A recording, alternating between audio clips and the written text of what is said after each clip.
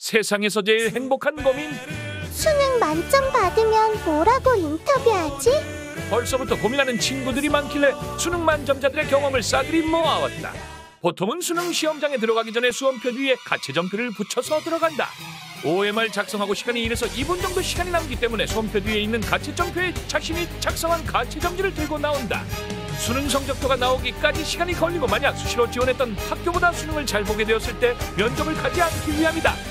실제로 가채점표를 들고 나와서 결과를 확인해보니 수능 만점을 받고 선생님과 부모님께만 조용히 전해드렸다고 하는데 그 다음날 학교 가니 이미 전교의 소문이 다 퍼졌다고 하며 지나갈 때마다 사람들의 남다른 시선이 느껴졌다고 한다.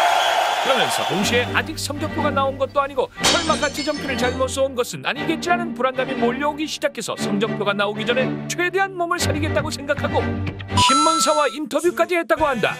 다행히 성적표에는 아무런 문제가 없었으며 아파트 학교 모든 곳에 이름이 걸린 플랜카드를 붙여주며 맘카페 블로그 같은 곳에 온통 자신의 이름으로 도배되었다고 한다. 실제로 만점자 할머니가 자신이 졸업했던 초등학교 교장실로 바로 들어가 자신의 손자가 여기 초등학교 나왔는데 이번에 수능 만점을 받았다고 자랑했다고 하신다.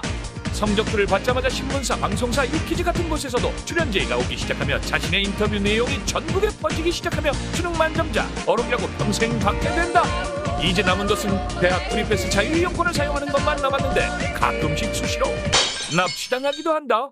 수시 납치? 수능 만점을 받은 학생이 성대 글로벌 학부로 납치당했다. 수능에서 만점을 받았지만 학생부 종합전형으로 연대 고대는 떨어지고 성대 글로벌에 합격하게 되며 정시에는 지원조차 할 수 없게 된 역대급 수능 만점자가 탄생하게 된 것이다. 그리고 여기서 역대급 발언을 하는데 재수는 절대 없다 선언하며 해프닝은 여기서 끝나는 줄 알았는데 성대 3학년 재학 당시 또다시 수능 만점자의 이름이 신문에 올라오는데 서울대생들을 제치고 행정고시 전국 수석으로 합격했다고 한다. 합격 비결에 대해서 이야기했는데 과분한 결과 같아 조금 무섭다.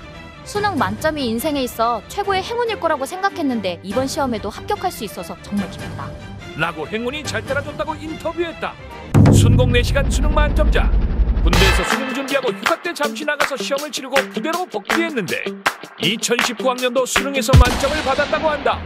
김일병은 군대에서 식사를 책임지는 급양병으로 정말 빡빡한 일과를 소화하며 틈틈이 수능을 준비했다고 한다. 평균 4시간 순공 시간을 가지며 6개월 정도를 준비했다고 한다. 일과 후 주말 시간을 할애해 EBS 강의를 듣고 자율학습을 통해 수능 준비에 매진했다고 한다. 김일병은 잉글랜드 프리미어리그를 즐겨보는 축구팬인데 축구리그에서 다양한 기록들이 통계로 사용되는 것을 보면서 스포츠 데이터 분석가로 활약하는 것이 지금의 목표라고 말했다. 수능 만점자가 말하는 수능 꿀팁. 수능장에서 모르는 문제가 없었다고 어록을 남긴 수능 만점자들. 수능 만점자들은 학원이나 과외보다는 대체로 인강을 더 많이 들었다고 한다. 닥쳐울성에서 승리할 수 있는 유일한 방법 이것밖에 없습니다. 한석원 선생님의 말씀처럼 특별한 방법이 있기보다는 그저 여러 번 반복해서 문제를 풀었다고 한다. 수면 시간은 5에서 7시간 정도를 취했다고 한다. 가장 중요한 것은 어렸을 때부터 공부를 잘했다고 한다.